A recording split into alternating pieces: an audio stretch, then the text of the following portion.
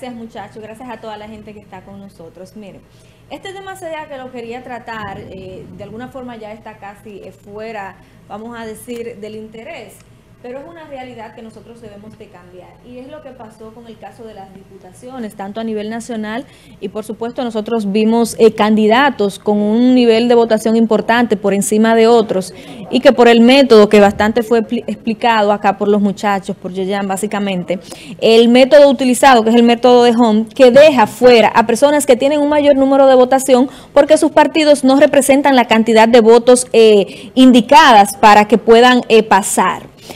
Es muy triste eh, lo que nosotros pudimos ver acá. Por ejemplo, candidaturas como la de Johan del partido del PRCC. Es un muchacho con muchas propuestas, joven, con interés de llegar al Congreso, para, eh, según lo que él nos planteaba en ese momento, una manera diferente de hacer política. Eh, a nivel congresual. El caso de Luis Ernesto también, que fue uno de los candidatos que tenía más votos y que por el mismo método pues también quedó fuera. No es posible y nosotros debemos de... Yo fui que mandé a, bajarlo. Eh, y nosotros, no es posible, señores, que por este método queden fuera personas que la gente quiere verse representada en ellas. Es injusto, antidemocrático y creo que está por encima del deseo de la población, que es quien tiene el poder de elegir a los candidatos. Eh, debemos de auspiciar, y ya pasó la política, cierto, pero en estos cuatro años, y tal vez el interés de los partidos mayoritarios, pues no vaya en esa dirección porque no les conviene. No les conviene que eh, partidos pequeños puedan tener importante representatividad. ¿Bajo qué condiciones puede una persona que tenga interés, por ejemplo, partidos como Alianza País, que quiera llevar, eh, que quienes participen a nivel eh, del Congreso, o sea, no va a ganar, porque entonces puedo sacar más votos que otros de un partido mayoritario y no me dan la oportunidad. O sea, es totalmente injusto. Es totalmente inequitativo y poco representativo, porque el hecho de que un partido tenga mayor cantidad de votos y que un ciudadano esté aspirando por un partido pequeño y que la población tenga el interés de que ese ciudadano los represente sencillamente por un método que se aplica en ese escaño no pueda eh, ser elegido, no pueda representar a su pueblo, que fue quien le dio la mayor cantidad de votos. Cuando tengan las imágenes, en el caso de Jocan y de Luis Ernesto, que fue el caso particular de la provincia de Duarte, la podemos poner. No es posible. Y los partidos pequeños, que son los más afectados por este método, quienes los candidatos de manera particular se vieron afectados, creo que deben de abogar para que este método sea quitado. Si es a, través de una ley, Yerjan, el, a través de la ley de partido que establece el método HON. O sea, Pero se puede, se puede, creo que la Fuerza Nacional Progresista sometió una acción de inconstitucionalidad porque realmente es inconstitucional, porque viola eh, el derecho a elegir. Estamos en Y, se está espera de, ese fallo. Pues eso es importantísimo y esperemos que a, la, a dónde la somete, ¿a dónde la somete? Al constitucional. Al, constitucional, bien. O sea, esperemos que haya una respuesta satisfactoria. Esto es bueno, no lo sabía. De hecho, tú recuerdas cuando el PLD había anunciado que eh, iba a sesionar con cinco provincias el arrastre y en otras no. Sí. Nosotros logramos. Sí, recuerdo que eso era inconstitucional también. Totalmente. uno no, no.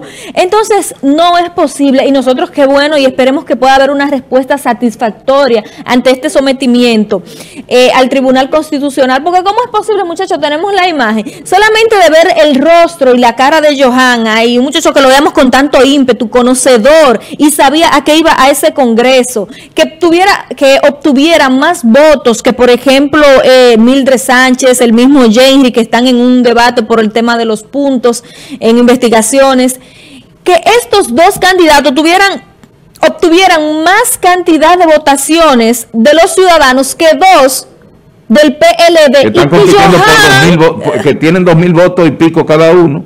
O uno tres mil y otro dos mil. Y que Johan y Luis Ernesto no puedan decir nada. y seis mil y no ganan. Vamos a recibir la llamada y, la imagen, por favor. Buenos días. Sí, es verdad. Sí, equipo. Buen, día. Ese, ese, tema, ese tema que tú tienes, Carolina, hoy es extraordinario. Y yo le hago una pregunta al panel. increíble. ¿Y cómo podemos subir a Francis, por ejemplo, que nosotros queremos subir? a- ¿Cómo podemos subir a ti, Carolina, en Alianza País? No hay forma. No hay manera, No hay manera. porque cuando no te matan la bota, te matan los votos. Chao. Eso es así, eso es así. Así porque, es. por ejemplo, de Joan, Tenemos la imagen, muchachos. Joan es una estrella. Una Ese estrella. muchacho es muchacho, un prometedor, una juventud. Sí, siempre- sí. Ustedes saben que yo siempre he estado con la juventud. Sí. Y sobre lo que Lorenzo dijo, Lorenzo está sangrando por su propia herida, porque Lorenzo- ellos cobran todo. Y, y así, y usted no se puede mirar. Eh, Jay Noah, que Chamo. dijo de los 30 mil pesos que cobraba, que eso era lo que le dolía. Eh, Es imagen. un desastre lo que tiene el PLD. Y, y cuando le toquen a esa nómina, cuando le toquen a esa nómina de esas instituciones, dan La tabla en la pena todas Sí. dan pena, todas, todas esas instituciones están podridas de, de, de, de gente comprada. como- Y esa cancillería, yo, yo estoy loco porque abran la nómina, a ver. Bueno. Pero es, pública. Vamos a traer la de Cancillería también. Eso es terrible, Sí. no, no, La de eso Cancillería la vamos a traer también, Eso no hay que verlo para saber, hay que recordar solamente un informe que hiciera Alicia Ortega, Dios mío, gente que, que estaban muertas, que o sea, que no habían, que no existían esas oficinas en el caso de la Cancillería. Y sabemos cu- eh, para qué le dieron esa Cancillería a Miguel Vargas Maldonado. Pero bueno, volviendo al caso, qué bueno y, y- y que de alguna forma es alentador este, parezco una nómina de este sometimiento de la Fuerza Nacional Progresista ante el Tribunal Constitucional. No es posible, no es justo, no es representativo que porque un partido sea mayoritario, usted como ciudadano no pueda elegir su candidato porque sencillamente no va a pasar. Ciertamente los candidatos sabían de este método. Pero ¿cómo es posible? Se supone que, por ejemplo, en el caso de Johan, la misma Urania, eh, candidata diputada por Alianza País, o sea, ¿cómo tú puedes escalar? ¿Cómo llegar? Siempre la representatividad a nivel del Congreso se quedará entonces en los dos o en los tres principales partidos de este momento. Y así no se hace justicia, así no hay equidad, así no hay representatividad. Y nosotros no podemos dejar de lado este tema. Y en lo particular lo seguiré tratando para que la gente entienda lo injusto que es que usted no pueda competir de manera equilibrada en una contienda electoral a nivel congresual, porque sencillamente si usted no es de un partido mayoritario, PLD, PRM, eh, Fuerza del Pueblo, usted no va para ningún lado a nivel congresual. Otra de las cosas que quiero destacar que se ha estado dando a nivel congresual es el retiro de algunos... eh, Ah, míralo ahí. Eh, Pero eso da pena, a mí me da pena ver la cara de Johan. Usted sabe lo que usted sacar una cantidad de votos eh, mucho más alta que otros que sí pasaron.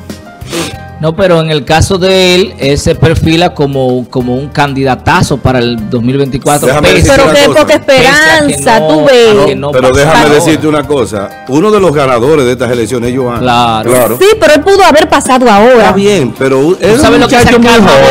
Sí, yo Joan, yo creo entiendo que el no tiene punto. 30 años, Recuérdense ¿no? que Mildred era la directora de Plan Social aquí durante muchísimo tiempo. Sí. Eh, que eso necesariamente le acarreaba a ella un, una- un caudal de votos a su Ernesto favor.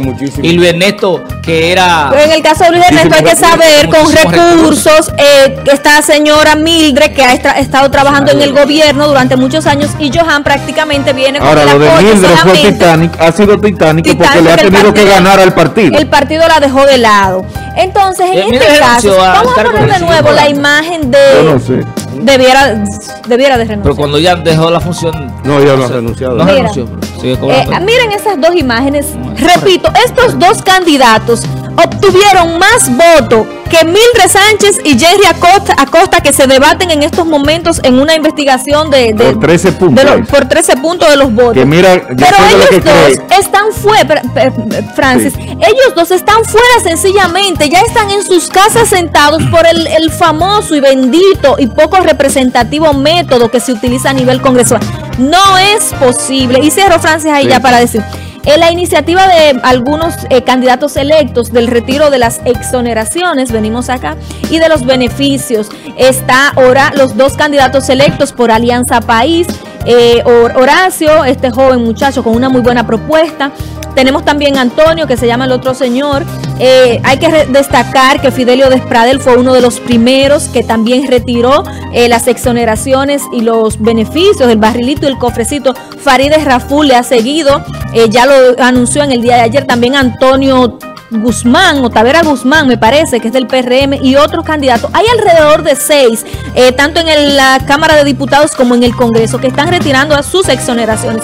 Pero esto debe de ser eh, a, a nivel legal, que se establezca. Los legisladores no están para estar recibiendo eh, eh, dinero para ayudas sociales. El papel de, papel de ellos es legislar y fiscalizar. Y esos beneficios que reciben, ¿por qué? Porque hay que darle exoneraciones a un diputado o a un senador. Yo quisiera que alguien me diga que Para por el qué. desarrollo de su trabajo. Por Dios, no, así no. Esto era lo que quería plantear. Pero Francis había tenía algo renunciado de que la decir. Cámara de Diputados. No, No, lo hizo ahora. lo hizo ahora. Creo Ah, no. que por una presioncita tal vez ejercida. Eh, ¿Tú ibas a decir es algo? posible, pero no renunció anteriormente. Sí. Eh, creo que José La Luz y Fidelio de Prade fueron los únicos que renunciaron. ¿Tú vas a referir? No, bien. no, pues muchísimas gracias. Eh, concluyo con, lo, con el Dos, cuatro años. Bueno, no, gracias a Carolina Medina por su comentario. El método de Home tiene una particularidad, es adecuado para lugares donde hay básicamente bipartidismo Eso no sirve. y donde los partidos son partidos mayoritarios. Por voto, Porque, porque eh, al ser un mecanismo para, para elegir escaños de los partidos, tú necesitas, son dos pleitos, el pleito del el partido como equipo, como grupo, y luego el pleito interno para determinar a quién le corresponde los escaños que le correspondió al partido. Eso lo que asegura Amado es que donde hay bipa- bipartidismo eh, haya una, un equilibrio. O sea, que no solamente sean Es- todos de uno solo, sino que haya un equilibrio, porque lo que hace es que estaba repartiendo eh, por partes. Exactamente. Pero lamentablemente en este país la cera el, Sí, el derecho a elegir. aquí hay partidos que no llegan a 1%. El caso Bueno, de Alianza, en, dos en Tenares, en Hermana Mirabal hubo un diputado que sacó 9 mil votos y pasó uno que tenía 6 mil. Eso no es justo, pero una cualquiera. Así es. cosa, una PCR, creo que hay en Sí. Samaná, Bueno, vámonos a los WhatsApp, señores. Vamos a ver qué dicen nuestros amigos de la...